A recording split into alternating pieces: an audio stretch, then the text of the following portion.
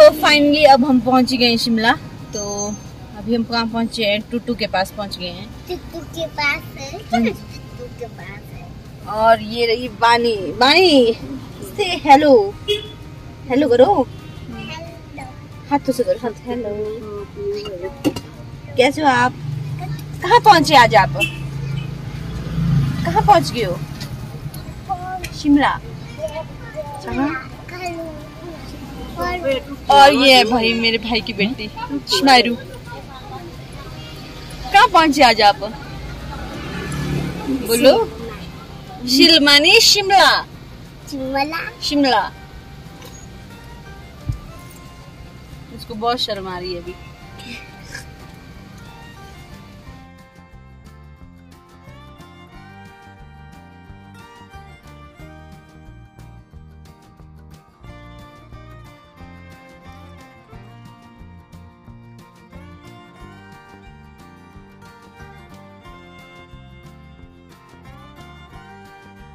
तो अभी हम पहुँच गए हैं टुटू के पास और बहुत ही जल्द पहुँचने वाले हैं अब शिमला। तो बहुत ज़्यादा जाम लगा हुआ था। हम लोग 12 बजे के घर से चले हुए थे और लगभग 5 बजे वहाँ पहुँच गए थे। लेकिन जाम में दो तीन घंटे तो हमें जाम में फंसे हुए हो गए थे और बच्चे भी बहुत ज़्यादा चिड़चिड़े हो गए थे। और मैंने सोचा कि शिमला का मौसम थोड़ा ठंडा होगा, लेकिन दिन को तो इतना ठंडा नहीं था, लेकिन शाम के इसमें जो था मौसम बिल्कुल बढ़िया बन गया था। तो भाई शिमला तो है ही पहाड़ों की रानी।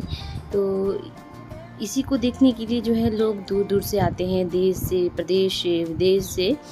तो अब हम शिमला पहुँचने ही वाले हैं और मुझे भी बहुत अच्छा लग रहा था क्योंकि हम लोग भी काफ़ी टाइम के बाद जब मैं और बानी के पापा वहाँ रहते थे तो उसके बाद फिर हम लोग आज ही जा रहे थे शिमला। तो अभी हम आईएसबीटी के पास पहुँचने वाले हैं, लेकिन हम लोग आईएसबीटी नहीं जाएँगे, हम लोग जाएँगे ऊपर ओल्ड बस स्टैंड।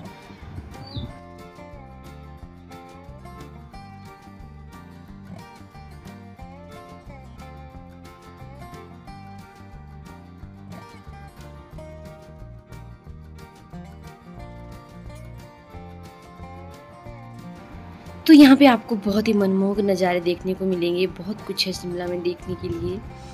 तो भाई भी पहली बार शिमला आया हुआ था और बहुत ही ज़्यादा खुश था क्योंकि लाइफ में ये फ़र्स्ट टाइम शिमला आया हुआ है और ऐसा होता ही है भाई, हम लोग तो जहाँ भी कहीं नई जगह जाते हैं, चाहे वो छोटी जगह हो, चाहे बड़ी जगह हो तो हम लोग बहुत ज़्यादा खुश होते हैं। हम लोगों को एक्साइटमेंट होती है कि भाई, पता नहीं ये जगह कैसी होगी।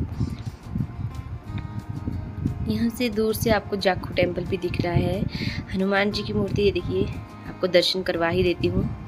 यहाँ हम लोग नहीं जा पाए क्योंकि हम लोगों के पास टाइम ही नहीं था इतना।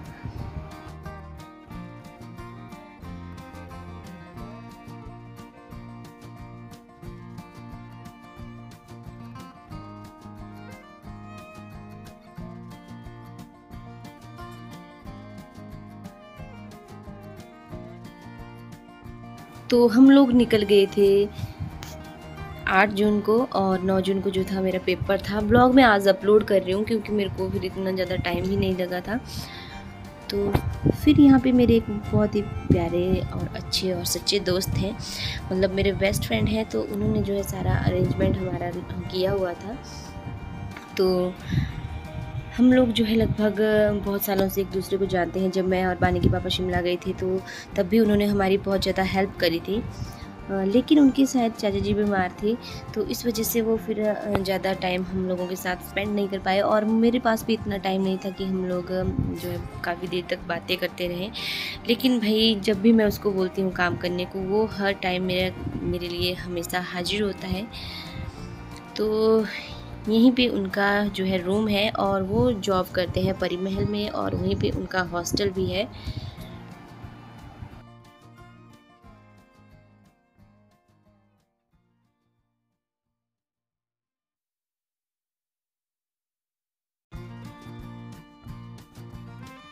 तो मनु का तो मैं एक बार, दिल से जो है थैंक्स करना चाहती हूँ कि जब भी कोई काम अट जाता है तो वो हमेशा मेरी हेल्प करते हैं।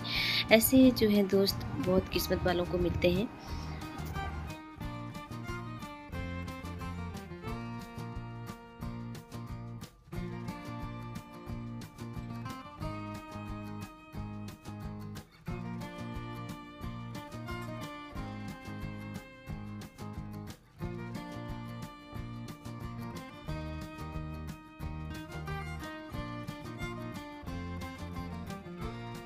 पहुँच गए शिमला और यहाँ पे मेरे बहुत अच्छे मित्र हैं। तो उन्होंने मेरे लिए कमरा दे दिया हो यहाँ पे हॉस्टल में। तो हमें खाना खाने जाना पड़ेगा बाहर। और जगह का नाम है परी महल यहाँ पे हम लोग अभी पहुँच गए हैं। तो जब मैं शिमला रहती थी तो साथ में मेरा रूम हुआ करता था। बाकी अभी मनु आए नहीं है। जब भी आएँगे तो हम उनसे मिलेंगे। बाकी हमें थोड़ा सा टाइम लग गया यहाँ पे। शिमला में हम जाम में फंस गए थे बहुत बुरे तरीके से, और हम लोगों को अभी रात हो गई है। तो हम लोग सोच रहे हैं कि अभी हम पहले खाना खा लें, नहीं तो फिर यहाँ शायद ढाबे भी बंद हो जाएँगे। तो चलिए फिर मिलते हैं। और मन्नू का ऑफ़िस में आपको दिखा दूँ। मन्नू का ऑफ़िस ये है।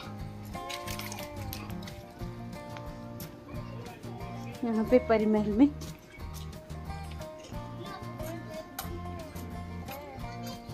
तो हमेशा से ही वो मेरी हेल्प करते आए हैं जब भी मैं उनको किसी चीज़ के लिए बोलती हूँ।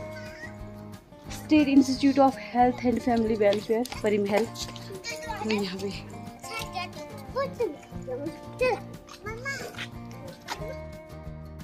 और आज है मेरा टेस्ट और तबीयत इतनी खराब हो गई कि मैं पूछिए मत इतना जुकाम, बुखार, क्या ही मैं बोलूँ अब। तो टेस्ट देने से पहले मुझे इतना बुखार आ गया। ऐसा इसलिए हुआ क्योंकि गाड़ी में एसी लगाया हुआ था तो इसलिए हमें आदत नहीं है। तो इस वजह से तबीयत तो बिल्कुल ही ख़राब हो चुकी है। तो अभी हम बैठे हुए हैं यहाँ रूम में। तो बहुत ही प्यारा रूम है देखिए। और यहाँ है मम्मी पापा और स्माइल और बाड़ी। बाकी टेस्ट मेरा भी थोड़ी देर बाद है। चलिए देखते हैं क्या होता है आज क्या नहीं डर लग रहा है। आज सच में बहुत डर लग रहा है। और यहाँ पर कुछ झगड़ा हो गया। क्या हो गया?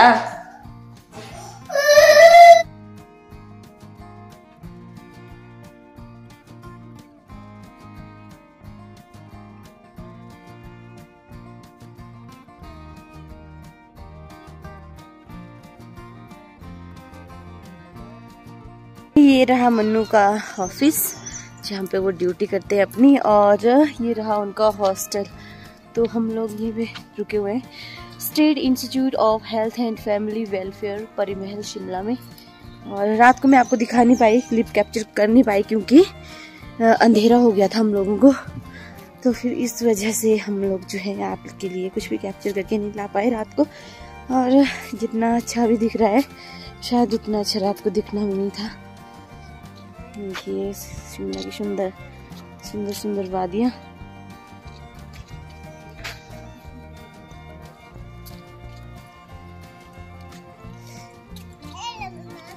और ये रहा चुटकू। तो आज के ब्लॉग की एंडिंग में यहीं पे करने वाली हूँ और जो बच गया होगा ब्लॉग वो नेक्स्ट डे मैं आप लोगों के साथ अपलोड करूँगी। तो मिलेंगे आपसे नेक्स्ट ब्लॉग में तब तक के लिए आप अपना ध्यान रखिए, जहाँ भी रहिए, सुरक्षित रहिए और सभी मुझे बताइएगा जिन जिन का एग्ज़ाम था, कैसा हुआ।